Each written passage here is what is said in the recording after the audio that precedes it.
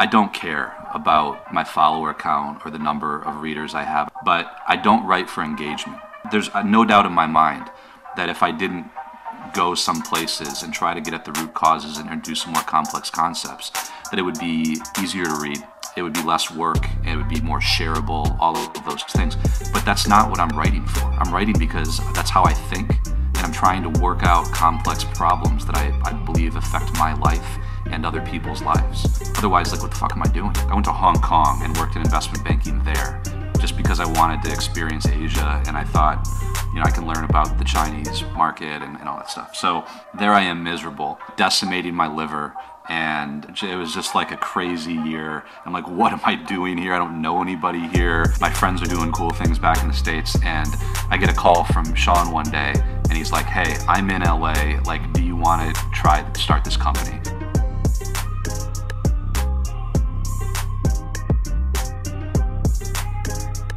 And we're live. RationalVC.com. Iman, I think this one's been a, a, very long time coming. I think we've been like two kids waiting for Christmas because uh, it's all, all of our worlds colliding. It's pretty much what our whole brand is based on. So uh, yeah, I mean, how, how excited are you on a one to ten?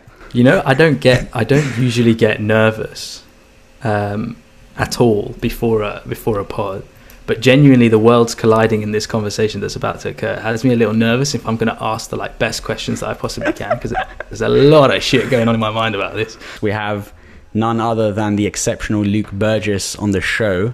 Luke is actually so I made a LinkedIn post. I think it may have been on LinkedIn a while back where I was ripping into the current founders joining Y Combinator and saying, you know, how it no longer consists of the nerds and the builders and it's now your typical Harvard MBAs. It went from going to Wall Street, now it's joining, trying to join YC. And I said, you know, typical thing where I just sort of shit on everyone. I said, you don't know how to think for yourselves. and no skin in the game. Go and read Wanting by Luke Burgis. Uh, and to my surprise, wake up the next day and uh, Luke has uh, seen the post. He went on Twitter and he made a tweet, which we'll pull up in if you're watching on video. He said, P.S. Cyrus Yari has some Talebian style scorching commentary on the shark tankification and mimetic madness of the VC industry in his feed.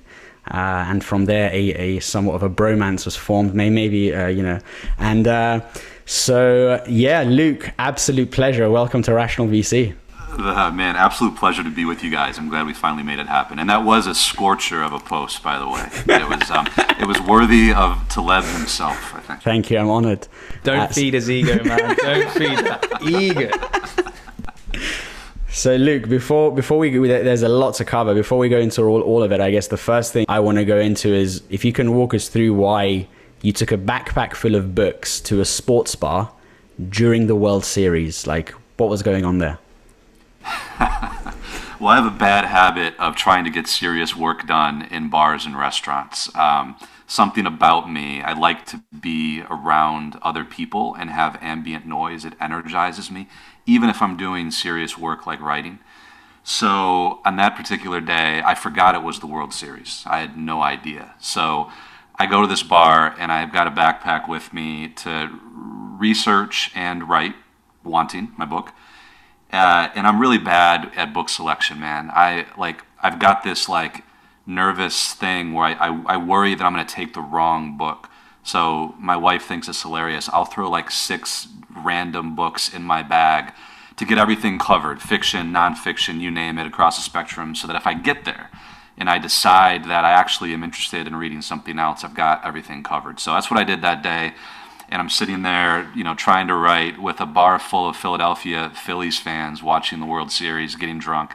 Um, I got about a half hour worth of quality work in before I just said fuck it and ordered a beer and just watched the rest of the game. I, I, guess uh, the, the, the logical uh, follow on from that question is. Uh, why were you trying to work in a bar anyway? So, like, what what point in your life were you at there, and what were you trying to achieve? Hmm. I I think that I need like um, it's a weird thing, man. Like I can't do one thing at the at, at the same time, like full focus. It's almost like I'm more creative if I have multiple stimuli and inputs.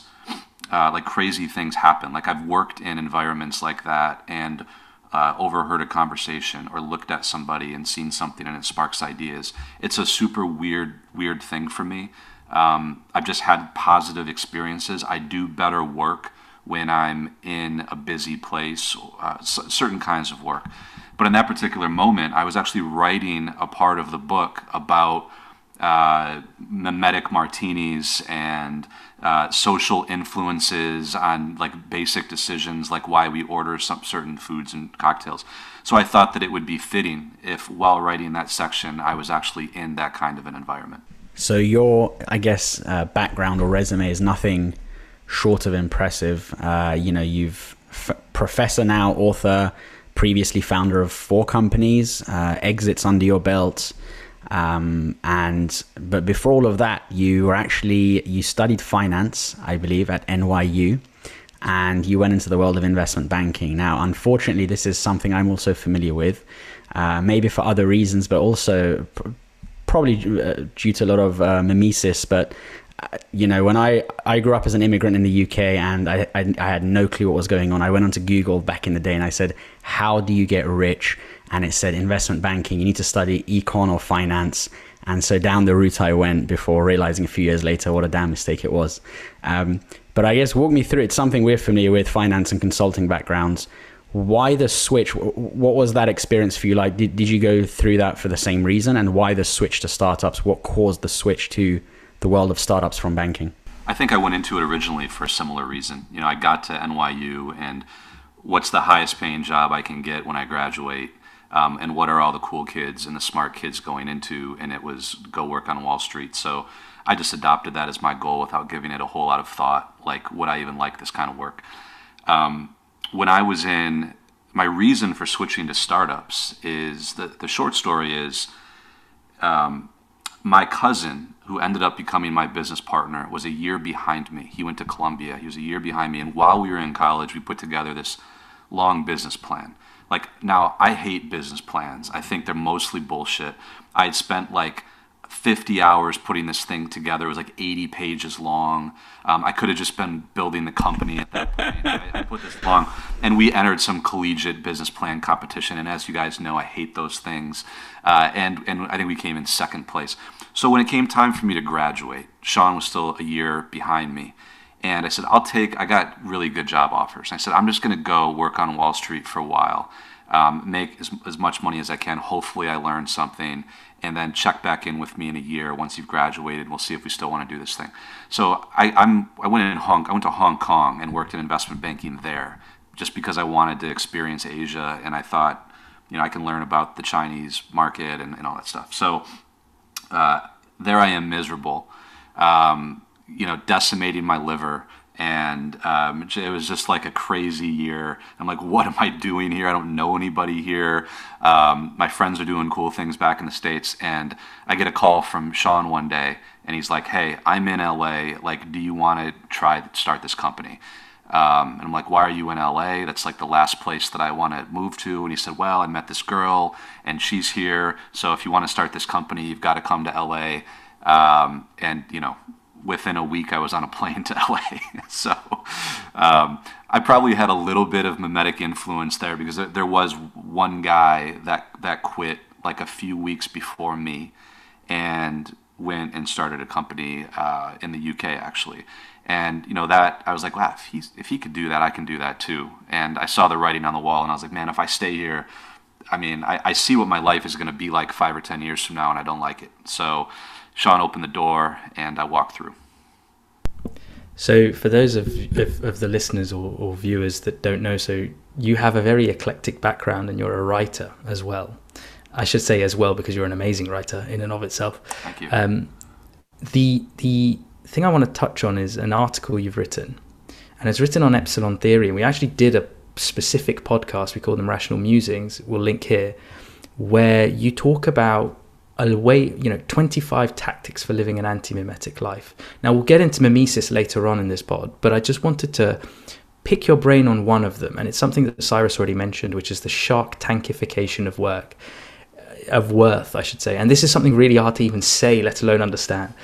So I just wanted to get your view on what this is, and in the startup community, what it means. So I think that the show Shark Tank has done more to confuse um, young entrepreneurs than practically anything else. Um, it took me a while to wrap my head around like what was going on there. Uh, and if you think about it, it's it's just introducing like mediators into the market who are endowed with this uh, kind of special status to judge the value or the worth of an idea or a company. Um, and there's all kinds of theater, theatrics. I mean, especially on that show. I mean, it's drama. And if anybody thinks that that's kind of how the real world works or pitching VCs, I mean, it's just not. It's television, it's drama. And, you know, you have, um, you know, these entrepreneurs who will go, and, you know, the Shark Tank spawned this whole, like, um, cottage industry of uh, similar, like mimicking like b- competitions, business plan competitions, Shark Tanks. Like now, every university business school needs to have a Shark Tank. Um, they're just multiplying all over the place. And because I'm a professor of, of business now, is one of the hats that I wear. I see my students kill themselves to get this like recognition from these competitions and will literally spend kind of like my business plan in college will literally spend the bulk of their time entering these things the incubators, accelerators, business plan competitions, Shark Tanks and judge the value of their idea based on the feedback that they get from two or three or four of these um, like divinely ordained, you would think, judges in these Shark Tanks.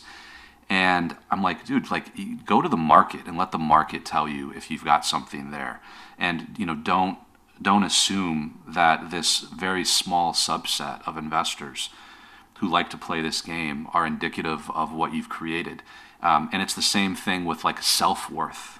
People, you know, often derive their self worth from in this fashion, and I think it's incredibly toxic. And we don't need those kind of mediators. I think there's some, maybe there are some positive aspects to this, but on the net, on the whole, I think most of them are just like uh, live action role playing and lead to some incredibly weird behaviors on the part of entrepreneurs. So similar to uh, Taleb, you are part of a very rare few professors in the world who went from industry to academia rather than, I guess, the reverse, which doesn't really happen. People are just lifelong academics. Uh, so t- to me, that is, I guess, a real professor. Uh, but I guess as a seasoned founder as well, building four companies, what can because a, a, lot of listeners of this show are you know besides investors a lot of founders and operators what can many of today's founders become more aware of? Just extension of i guess what, what we just touched on now but especially tech founders and silicon valley founders and all the tech twitter bros and all these people who are i guess one of the reasons we started our brand was due to the uh, i guess the mimetic desire that we see in this industry. Um, but what an extension of all the extremely logical points you just touched on what can many of today's founders become more aware of when building companies as, as a founder yourself previously uh, I'll give you, you know, one I think is just be aware of um, the social forces that are at work and why you make some of the decisions that you do and why you pursue some of the goals. Um, you know, this is what my a, a, large part of my work is all about. Um, I, you know, I love your brand name is Rational VC. Um, I love it because uh, so much of venture capital is not rational. It's extremely mimetic and you know driven by bad social forces. And the same thing with startup founders. Uh, it's an incredibly um, uh, I mean, it's like being in high school sometimes um, in terms of you know the social forces at work, uh, the status games that are being played, and the more that you become aware of those things in yourself and in the in the culture, um, the more or the less time you waste just chasing stupid things that actually don't uh, aren't building your company, um, are not contributing to any kind of growth. Um, and, and, and, you know the more that you can decide what it is that you want to focus on because there's a lot of people out there uh, in venture capital and a lot of entrepreneurs that you know don't have your best interest at heart. Um, and you know if you try to make everybody happy you're not going to build shit uh, you're going to be miserable. So you've got to find um, there are great people out there though. There are investors that are wise and wise mentors and are looking out for your best interest um, so one of the most important skills to develop is is discerning who those people are, um, having a really high bullshit detector, and just not taking all of the memes and kind of like what we consider common knowledge on you know bro Twitter as fact because most of it is not. And then the flip side of the equation, Luke, is like the venture capital industry itself. So you touched on Shark Tank and how that's shifting the mentality of some people in the space and founders in the space. But it'd be interesting to understand what your views on VC is today. Um, we have some choice thoughts about this, but there's obviously a herd mentality that's emerging and uh, or that has existed really. Um, and like even the best investors in the space often follow trend. Um, so I wanted you to kind of maybe give us a view of what you think about venture capital today. Mm. I, I, think in the last two years it's been insane in the in the states. Um, you know, like Tiger is you know massive uh, VC in the states, and I, have just heard so many stories about them um, giving term sheets to founders that they've never met, that um, they've talked to one time, and are making offers within six hours while the guy's at dinner with his date or something like that. Um, you know, and I, I, kept hearing like, well, the math works, right? Like it's just, well, the math may have worked 18 months ago, but it, it doesn't work like that anymore. And a lot of these firms are going to get washed out. So it's just, it's been extremely mimetic. Um, I knew that there was a massive bubble and it was total insanity when um, a large hedge fund in the U.S. basically came to me and asked me if I'd be interested in running a, like a three hundred million dollar fund for them, and they were like, "We have no idea what we, what you're doing. Would you consider helping us out with this?" And I'm like, "Is no idea what you're doing. um, I'm not making I'm not making this up." Um, and I was like, you know, maybe this isn't the best time to be doing that. For even if I even if I said yes, um, I don't think that I, I could produce the kind of returns that you're looking for, given the kind of competition and capital that's flowing into these deals that are totally inflating values. Um, so I think I think that we're going to come back to a state of normalcy as some of these investments get washed out and people sober up a bit. Um, so the next couple of years is probably going to be a great time um, to find some actual value in the market. Yeah, I think we should uh, maybe make you a co-host of the show, given that uh, you're part of again a very rare few. So we had soft commitments uh, at the peak of the market, and we decided we made a whole episode recently on why we decided to not start a fund now. Uh, but for a, a, lot of the reasons that you echo as well, uh, that, that you just mentioned, echoing those. So, can you elaborate on cultivating? I've I've made an episode before on um, Charlie Munger. A lot of our brand is basically if you combined, I guess, Charlie Munger, uh, Nassim Taleb, and Naval Ravikant, you'd basically have Rational VC. And I'd say your ideas as well. Um, and one of the episodes that I made was around Charlie Munger. He talks about these big ideas and cultivating an interdisciplinary mind, or multidisciplinary, as he says. Um, can you elaborate on, on that and also the connection between Athens, Jerusalem, and Silicon Valley? Hmm we live in a very siloed um, world, um, you know, where people are, you know, they go to school for one thing and that's what they know. And, you know, in some cases, you know, that's good. You know, it does create value, right? I, I understand specialization and division of labor and all of those things, right? I don't need to know how to be a, a software engineer, right? There are a lot of great people. I can't do everything. But the specialization has, I think, contributed to a lot of problems, right? There's, there's not a lot of interdisciplinary minds out there um, which leads to ethical, moral problems, right? You have doctors graduating from medical school that uh, don't understand like the first part of, of, of ethics, right? Bioethics. It's, that's crazy.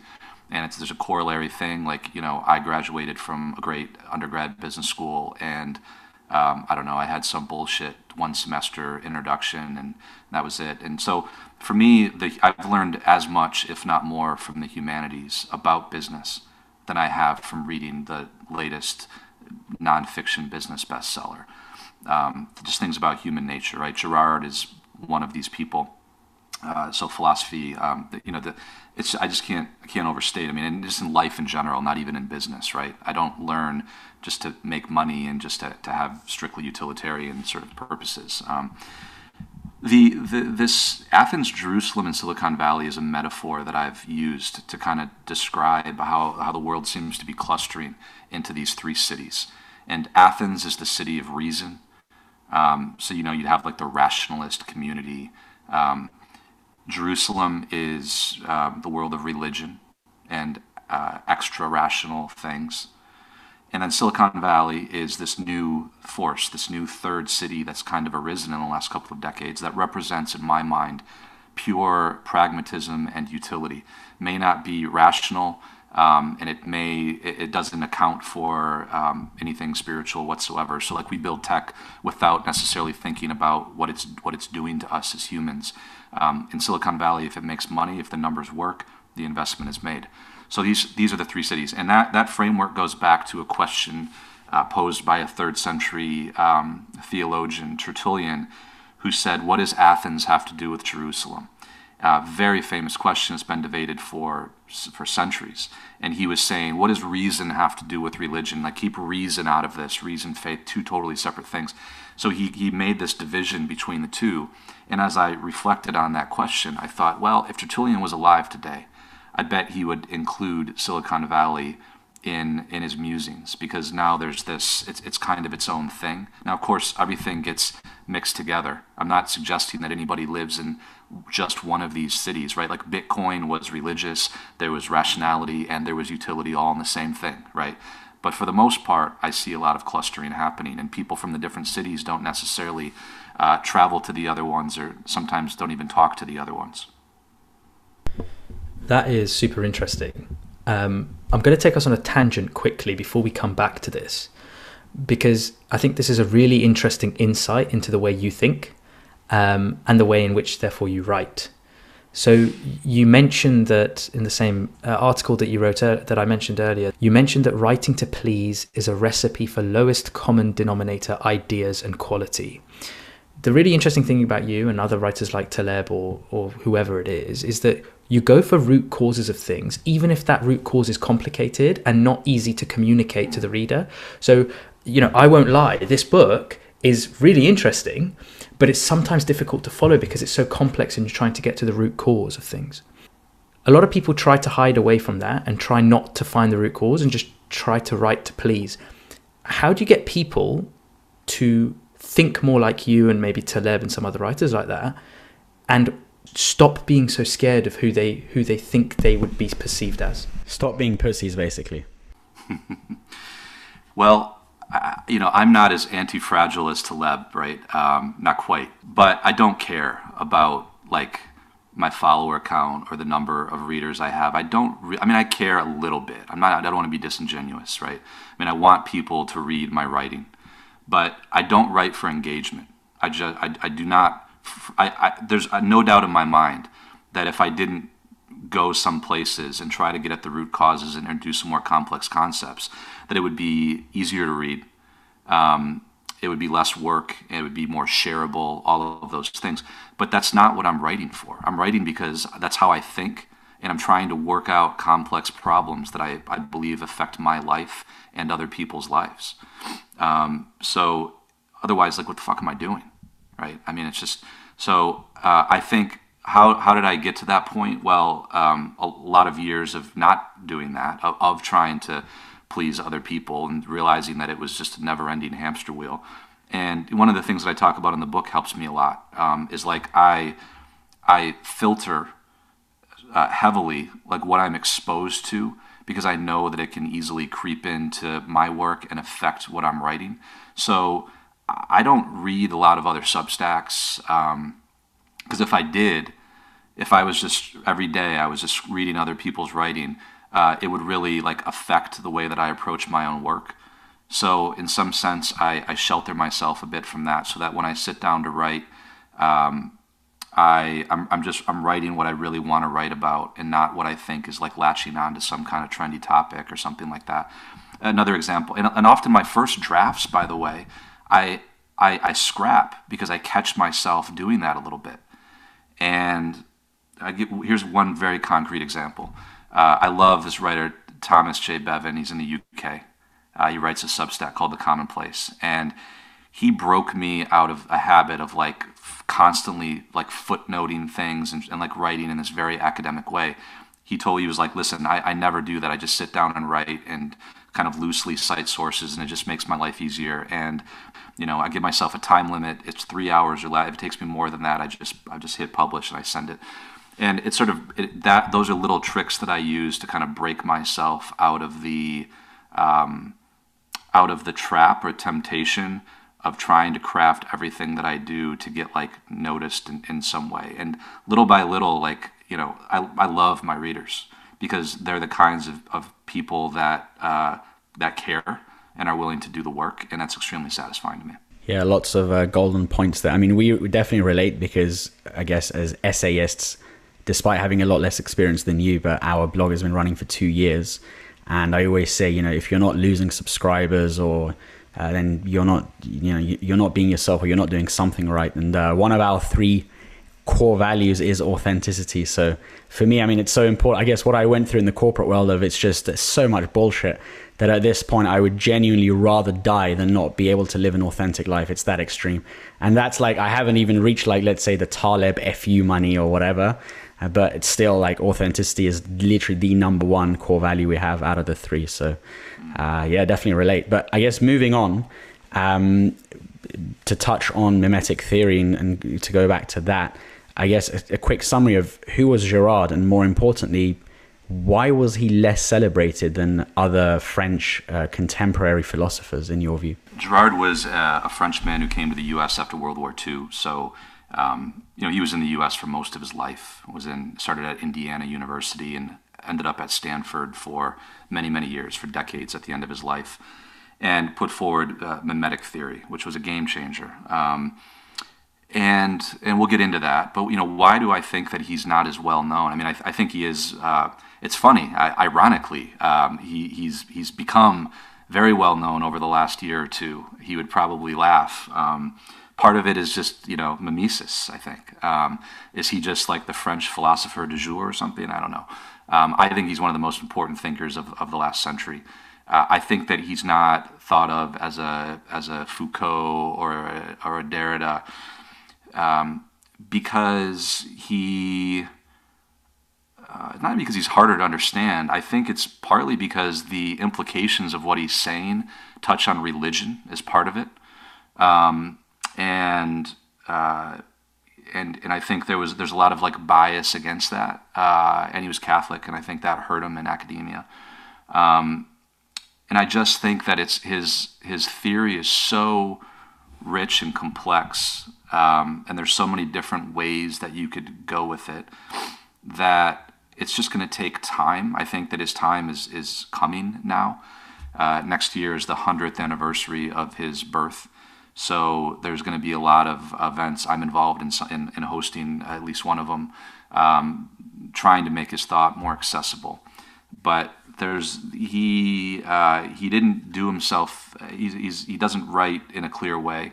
Um, and that's why I felt that this project of writing my book was important to try to make it a, little bit more accessible. So he didn't do himself a whole lot of favors.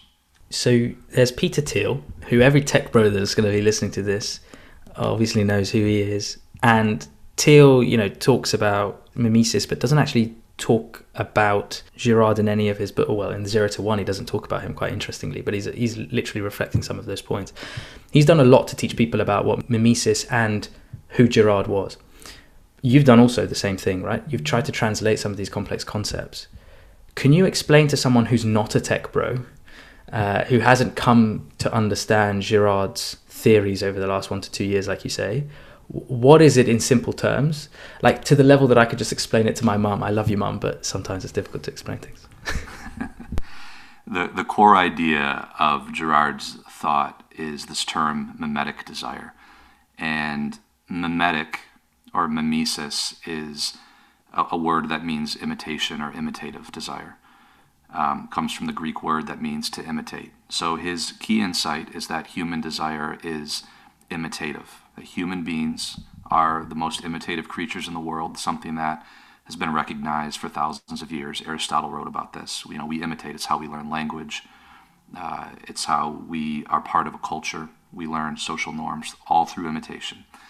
Girard's key insight, though, is that we imitate not just uh, surface level or superficial things, we actually imitate the desires of other people.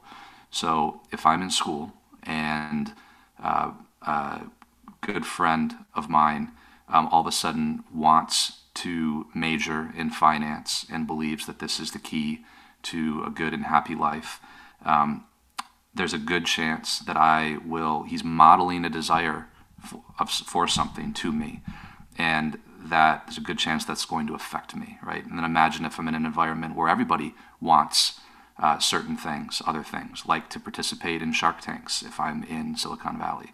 Um, that the desire is, in a sense, contagious. And Girard said, We have this idea of our wants, of our desires, that makes them seem as if like we're the sole kind of generator of all of our all of our wants and desires that that it's they, they just come out of nowhere. And he called that the romantic lie of what the, the, the romantic way of understanding our desires.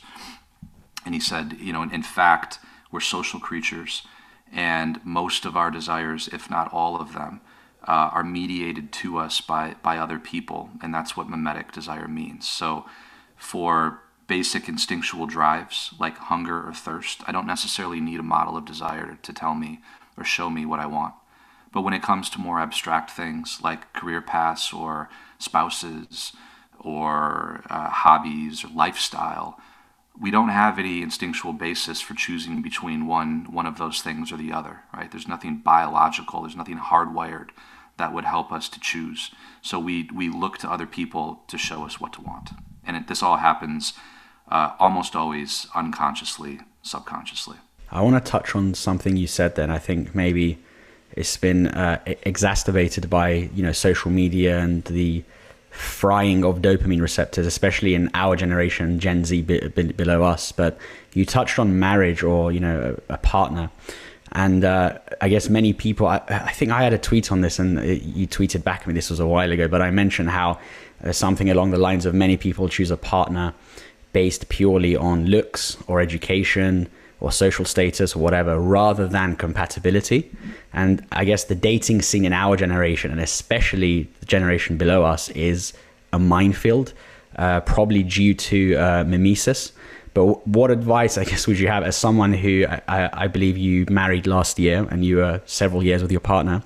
Um, what advice would you give to listeners on how to navigate this and I guess prevent the risk of ruin, seeing as a spouse selection is, as Charlie Munger puts, the most important decision one can make. Mm.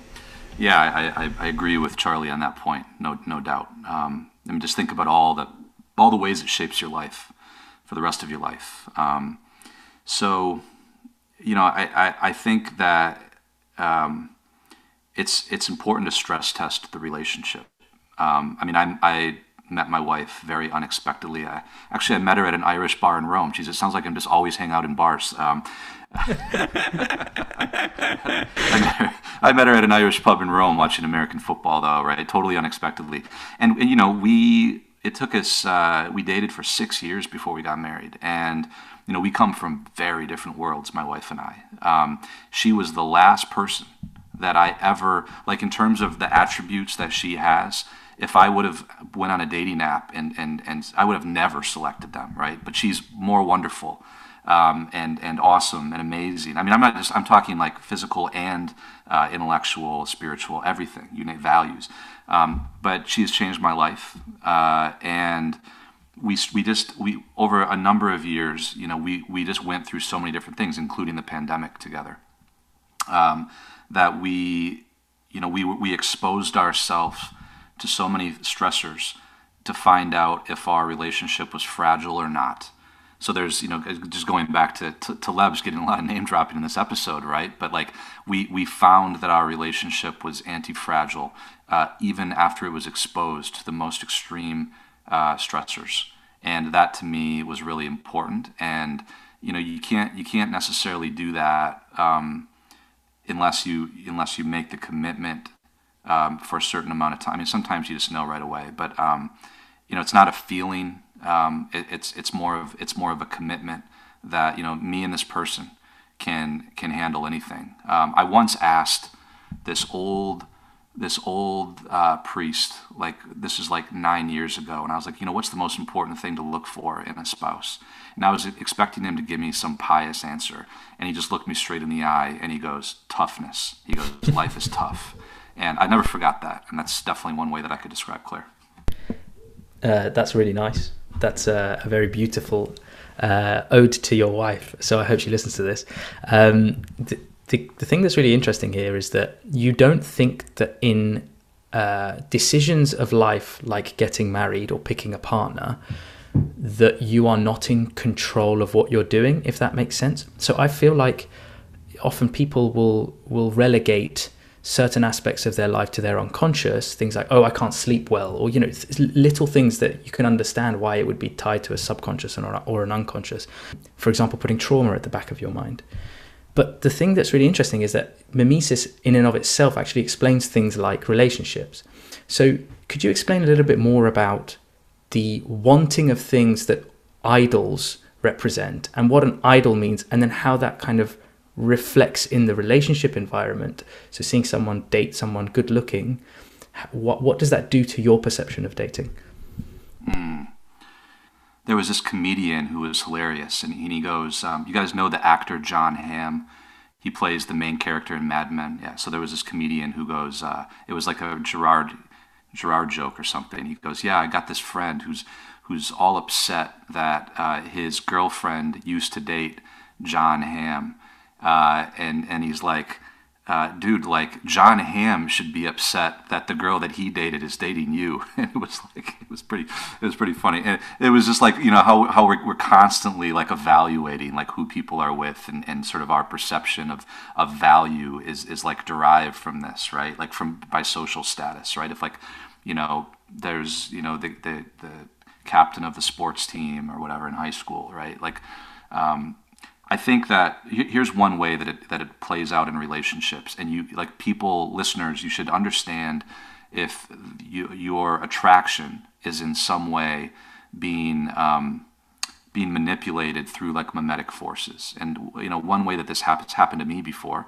Um, you know, dating somebody, um, I made the decision to end the relationship because I just didn't think it was a good fit. It wasn't compatible. Um, and you know, there, there, just I lost the attraction. And then two months later, seeing the the, the same girl, um, you know, with this other guy on social media, instantaneously like attracted me back to her because I was alone at that point, and you know, this guy was really successful. And you know, for a minute, I was like, I think I actually do like her. I think I've made a big mistake.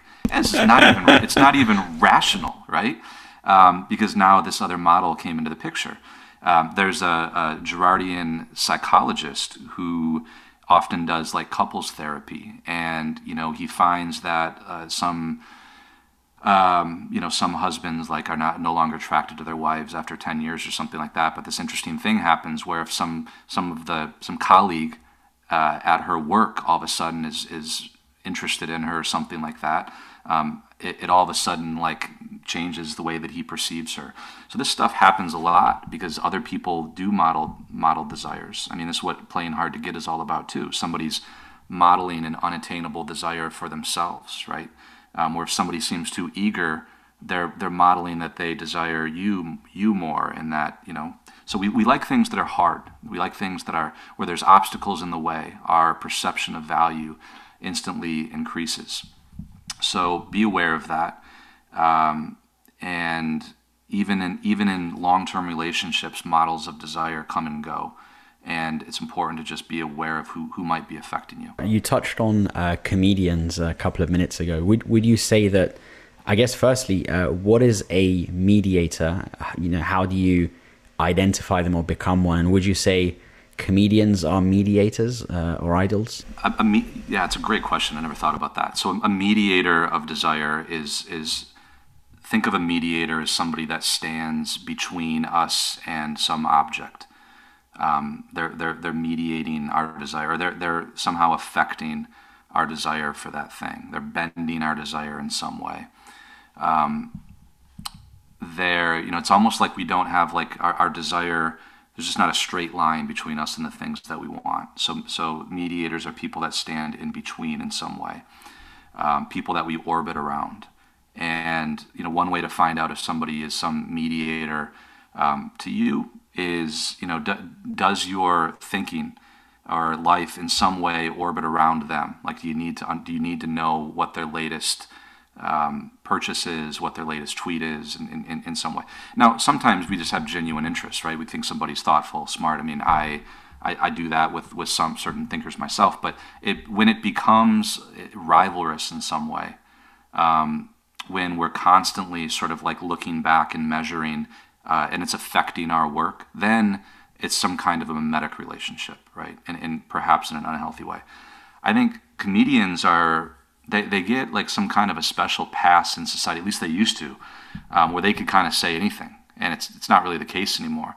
Um, and the reason I think that comedians, uh, much of comedy is pointing out like silly mimetic desires. Almost the entire show, Seinfeld, is about mimetic desire right? The characters are just like puppets of mimetic desire in that show. And I think one of the reasons that it works is that, um, you know, we, we stand at like a distance from all of those characters and we can laugh at them. It doesn't, um, doesn't incite like self, um, self indictment of our own mimesis. You know, we, they, they seem so silly and the examples are so outrageous that we can sort of laugh at it and I think you know comedians play a really important role in our society as as like truth tellers. Um, and often they don't know that a lot of what they're doing is they're they're acting as sort of like me, mediators of of of desire and and of truth. Um, but but they are because they sort of they sort of stand in this weird space where they can they can show us something about ourselves that we can laugh at and the laughter in some sense makes it a little more palatable. This is this is really interesting because Shakespeare, so Shakespeare himself often touted as a comedian in his own time because of the way of his of his writing and, and the points that he was trying to raise about society at the time.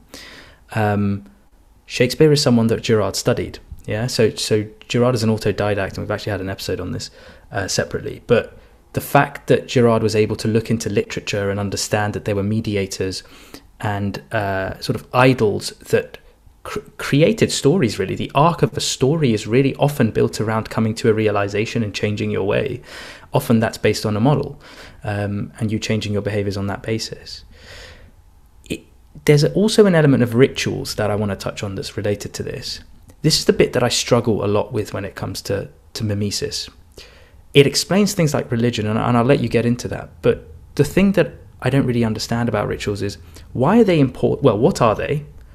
Why are they important in this context? Um, and then, sort of, why are they integral to, to life and society? Like, why is it that the story, the arc of the story, always needs uh, an idol and therefore something becomes fitted within a ritual on the ba- back of that? Mm. Well, this opens up the whole, a whole nother part of Girard's theory which is um, the, the, the role of religion and rituals in, in human life. Well, what is a ritual in a general sense? My my definition of a ritual, it, you know, it's some kind of a, it's it's human human behavior that has um, that follows a pattern, right? Um, where the the intellect is not uh, engaged, right? It's not usually not always happening at the rational level that brings some form of order to disorder or some or some kind of order to what would be chaos. Um, that's just in a, in a general level.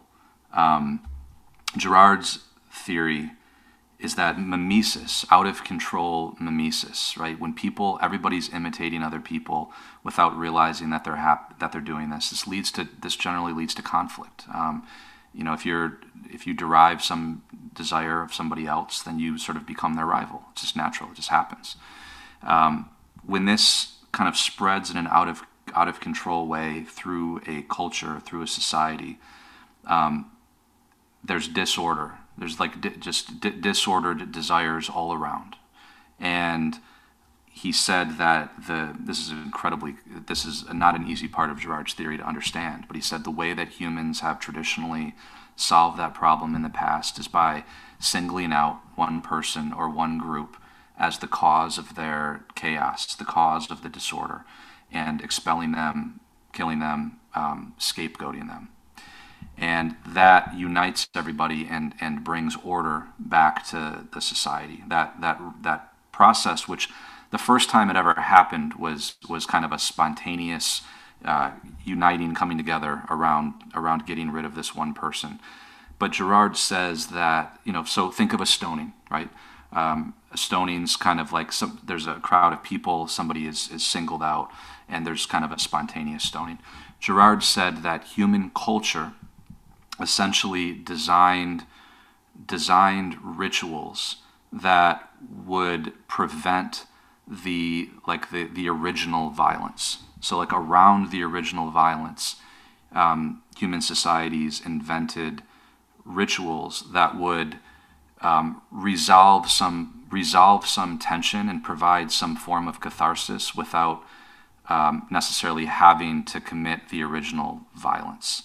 Um, so, uh, so let me think of an example. So, an example of this would be um, like rituals in in Rome around. Um, uh, let's see, like well, in, in Rome, they actually did uh, sacrifice people in the Colosseum, so that's that's not the best example. Um, but it, but again, it, that that is a ritual. That is, that is a ritual that Girard would argue contains a more widespread violence because it's a targeted violence that everybody can participate in, right? Um, so we have to ask ourselves, like, what are those rituals that we have in society?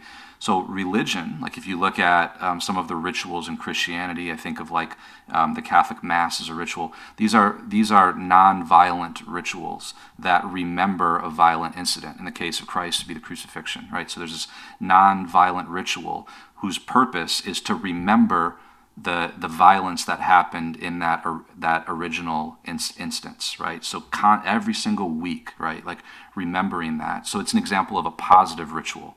And there are many negative rituals, right? Like most negative behavior is ritualized, right? Like I, I've talked to people that are like have some addictions, and whatever it is, whether it's porn, whether it's drinking, there's usually some like ritual process that leads up to them doing whatever the thing is that they don't want to do.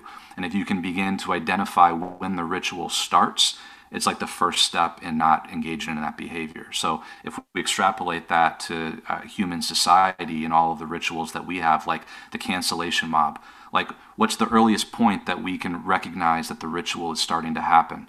And if we rec- most people don't think of the, the, the process of somebody getting canceled online as a ritual, but it's a ritual. It's it's got like a very tight structure, including the apology.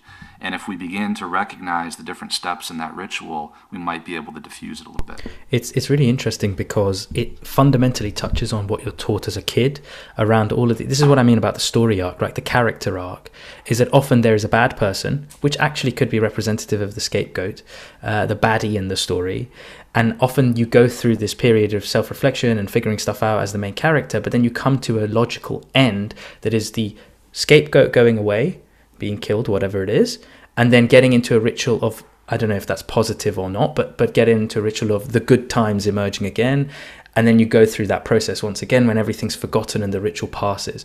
That literally just speaks to every single Disney movie I've ever watched. So that's really interesting. Yeah, the, the important part of, of the ritual is the catharsis, right? There's there's something that makes us feel good, um, and that's that's and, and, and that prevents us from further conflict. Um, there's, there's something like if, if it didn't have that cathartic effect on us, uh, we wouldn't we wouldn't engage in it. So I think there's there are some really important rituals. I think one of the the wisest bosses that I ever had was my the managing director at my investment bank in Hong Kong, uh, and Steve. Uh, of course, he'd never read Girard in his life, but he he organized a paintball day for the entire office. And he turned to me and he goes luke i hope you're at this this paintball event. He goes we really need to do this. It'll be cathartic for us. And i've always remembered that. I was like here's a boss that probably understands more than he even realizes about how to how to uh, keep this place from going fucking crazy. We all get to go shoot at each other with paintball guns for an afternoon yeah, we, we needed that in the bank that I was working in, I think. But anyway, um, so we, we have a running joke on the pod, which is that when we start to mention Taleb too much, it's like every time you mention him, we say take a shot. But to, to bring him up one more time and I guess take a shot is uh, he has a, to ex- an extension of your ideas and what you just touched on. He has a phenomenal paper, which we'll link in the show notes, published in 2014 called Religion, Heuristics, and Intergenerational Risk Management and actually touches on uh, some of the points that you just touched on and how much of the values that one is taught or the rituals are um, how it in, gets interweaved into your life i guess it, it prevents uh, moral hazards or the risk of ruin, as he puts. Uh, so, to I guess totally agree, and um, we'll link that in the show notes for everyone to read. I guess moving on, can th- th- this is the golden question, the million dollar question? Can we not be uh, mimetic, and is it worth chasing anti mimesis? Um, and, and, how so? If, if if one wants to, uh, you know, chase such a thing or obtain such a thing. According to Girard, it's it's not possible to escape mimesis, right? It's just we're social creatures, and um, mimesis is not a good thing. It's not a bad thing. There's just positive forms of mimesis, and there are negative forms of mimesis. But the default mode seems to be the negative form for most of humanity. Um, it's kind of just the, the default direction that we head into seems to be conflict and rivalry. So I do think when I use the term anti-mimetic, um, I'm talking about escaping the negative or destructive parts of mimetic desire in order to adopt healthy, positive mimetic behaviors in place of them.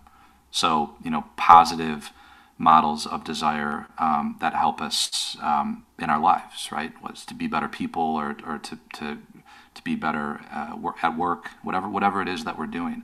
Um, we do rely on models. And uh, if we don't choose them, then they'll be given to us by our culture, our society. So we all have models, and um, the, the, the, the difference is some people have chosen them, but most people haven't. So I think it's worth, um, obviously, I think it's worth uh, trying to be anti-mimetic in some ways, right? Um, it's why I wrote I wrote a, a long Substack uh, about it. Um, so you know, in, in, in, my life, I mean, there's silly, stupid ways that it's helpful.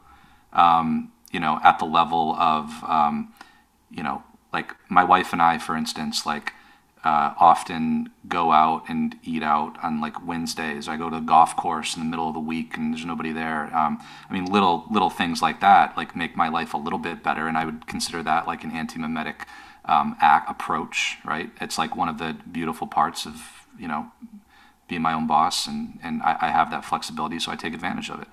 Um, like so many things even though even the five day work week and the hours that we work right it's a very mimetic phenomenon and we just accept it without even thinking about it. Like why do we do certain things at certain times? I mean i think that's all a product of mimesis. But in the you know the more important aspects of that of, of being anti-mimetic come down to um, you know be thinking uh, more independently um, making decisions like checking ourselves when we find ourselves being influenced in unhealthy mimetic ways. Uh, it happens to me, happens to everybody, I think, but I, I, just I'm able to usually recognize it and catch it uh, pretty soon. Um, so yeah, I do I do believe it's kind of like a muscle or a habit that needs to be developed, right, and, and, and worked at. And the more you sort of work at developing these anti-mimetic muscles, um, the easier easier it is, and the, the sort of the quicker you recognize when you're getting caught in unhealthy patterns.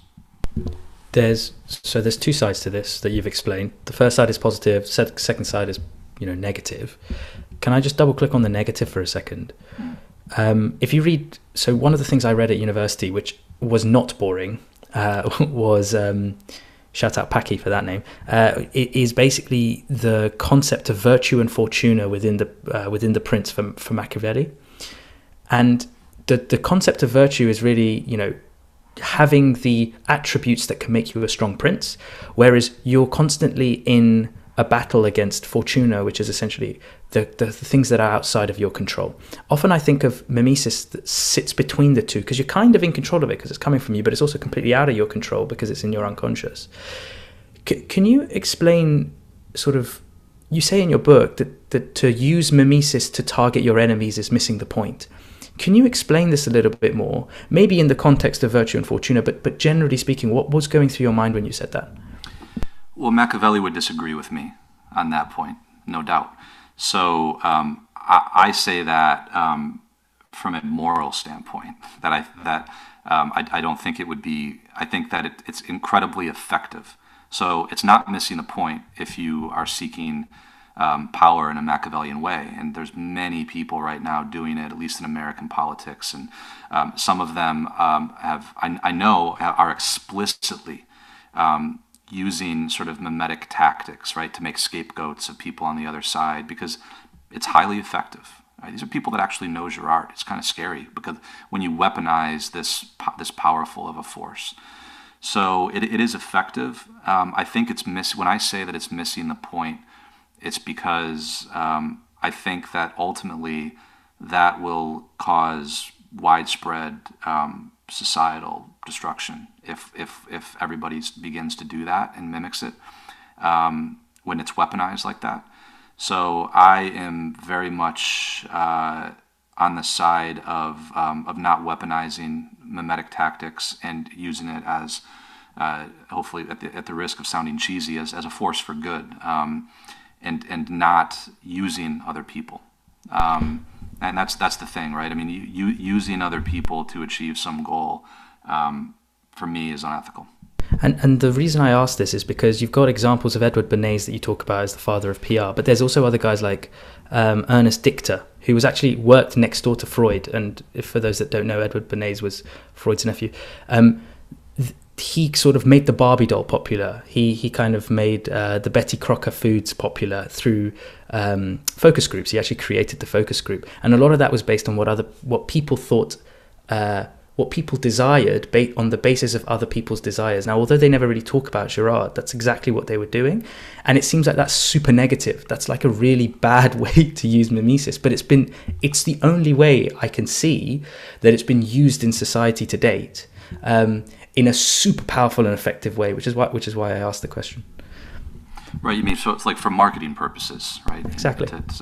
Yeah. I mean, I, I think, um, I think everybody does it and you know to to market something and use mimetic desire right um, is uh, as long as the, the the thing itself is is there's nothing morally um, wrong with the thing itself is to me is neutral right? I mean like people uh, have the have this but this is why it's important that people understand the, the the forces that are at work on them right? People are adults are are free people and like this is the this is the world that we live in, and I don't think that should be.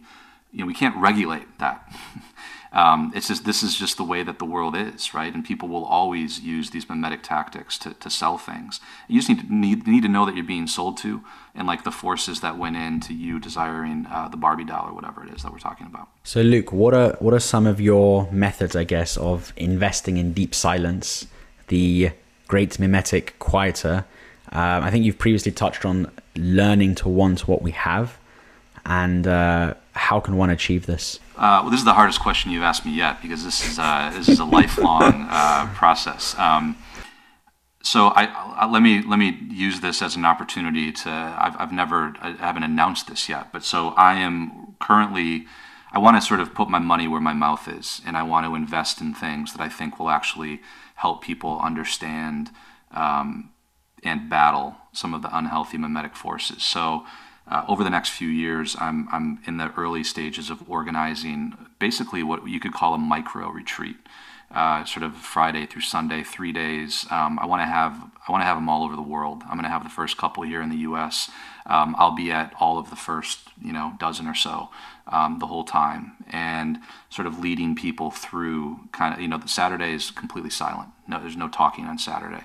So we get there, we have dinner, um, and, and it's the, the, the, the, process of this. I mean, it's, it is for wellness, but the process of this is to grow in greater greater awareness. I mean, this is an ancient practice, but I'm, I'm, I'm just I'm trying to sort of make it a bit more palatable and, and bring it to more people. So you know, that's that's something that I'm working uh, hard on right now.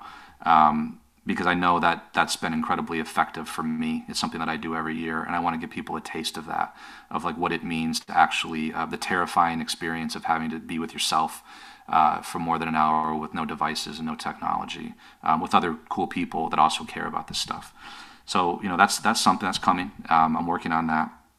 Um, you know, having friends. One of the things I talk about in the book is, as you know, um, an organization is only as healthy as the, the speed at which truth moves through it.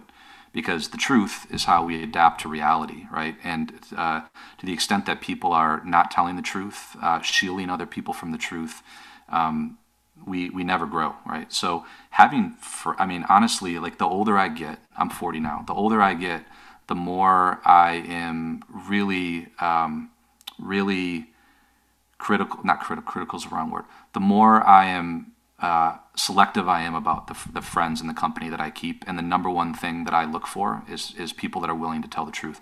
I don't want yes men around me. It's the same with my company, the same with my work. Um, I want people that are willing to tell me the truth, even when it's tough. And I try to like cultivate a culture of, of truth telling um, and, and, and quick truth telling, right? Uh, so we can move at the speed of truth. Uh, and that doesn't come easy for most people. I, I, sense like you guys have are, are, are great at this actually, um, but so many people are so. part of my job as as a leader is getting people to quit being so fucking afraid of just saying what they think, saying what's on their mind. And I have to work really hard. It might be my primary job is just helping people that, to, to get it out and to tell me the truth, right? It's like when I've written complete shit, you wouldn't believe how hard it is. I send it to five people and everybody tells me it's great. And I'm like, guys, this is complete shit. Tell me the truth. Someone's gonna do it, Luke. Someone's gonna do it. It's funny you say that. That I told you the first value we have is authenticity. The second one on the website, printed in bold, is truth seeking, and the third one being long termism. So I think it's been confirmed. We do have to make you a co-host, and uh, we'll we'll be there at the retreat. We'll be at the first one you host in Europe or UK or whatever. Um, and yeah, I guess before we start to wrap up, what what can we learn from learning to navigate without GPS? This is a point you've touched on before. Learning to navigate without GPS, and I, I guess applying this to our lives in general. So this comes from, um, you know, I, I, learned this lesson. I relied on GPS for many, many years, and um, all of, and I realized like all of the best experiences that I've had have come um, when I when I've gotten lost, right? Like Anthony Bourdain uh, talked about this in a beautiful episode, right? Just like the, when you run into some random people at the stop in at this restaurant you didn't even know existed because the GPS never would have led you by it in the first place, right? That's why I love traveling so much. And uh, when I travel to foreign countries, I, I, I don't schedule a lot. Um, we got to take a shot. This is a Talebian point here. uh, no, it's only it's only 11 o'clock in the morning, right? But I, I, I, do. I like to meander through the streets. Um, I like to not have Flaneur. Time, yeah, exactly. Um, there's an Italian version of that, meriggiando, um, to while away the afternoon without any agenda. Um, so, um, th- so as I've thought about this, so what does that mean, right? Um, well, first of all, I think I just become stupid when I navigate with the GPS. I'm just like doing with this fucking screen. It's going where it tells me to go. I'm not even exercising my mind. So we, we just moved to a new neighborhood here in Michigan, and I don't I don't know it very well, and I just force myself to just find my way to. Play. I mean, I can get anywhere I need to go. I kind of I know the general direction it's in, and I just enjoy it. Right? I mean, there's this cult of efficiency where uh, you know we have to get from point A to point B in the most efficient way possible, and I kind of rejected that mentality a long time ago because that's not what life is about. Right? Um, so it, applied to life, I think let's think about like um, like best practices so I think like that's like the that's like the GPS version of of of I don't know starting to I don't know uh, whatever it is that we're doing. There's often like this template that that exists out there that people like slavishly follow the way that they that we follow a GPS.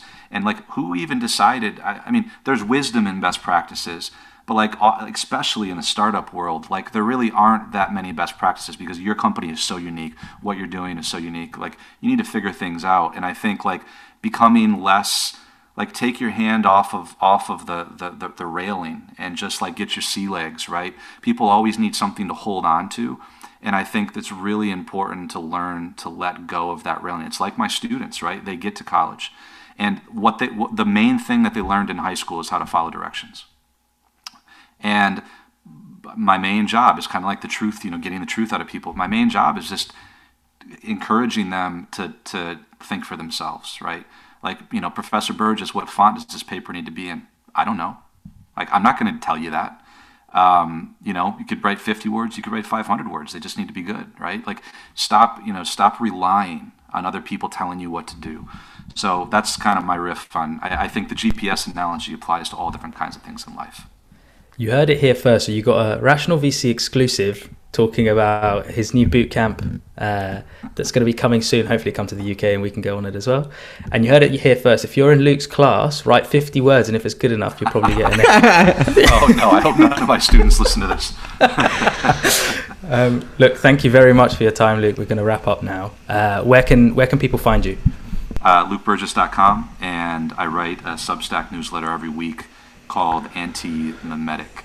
Um, and if you're not the kind of person that likes to slog through an 80,000 word uh, book, um, the video version of Wanting is coming out today. Um, well, when we're recording this conversation at least. But so by the time you listen to this, the video book of Wanting will also be out. It's about 45 minutes of me narrating the whole thing. Great. We'll link everything you mentioned the show notes plus the book, uh, the Amazon link. And I guess that's it, Luke. It's been an absolute pleasure. I look forward to meeting you at the retreat, and I look forward to your, uh, you know, the truth, truth seeking, truth telling, authentic Luke Burgis killing it. I, I look forward to continue watching this journey. It's it's been a pleasure. guys. Well, I'm a, I'm a co-host now, so we you guys. there you go. Exactly. Um, no, it's it's been an, been an absolute pleasure, guys. Let's uh, continue the conversation sometime for sure. For sure. Cheers, thank you. Thanks so much, ladies and gents. Luke Burgis.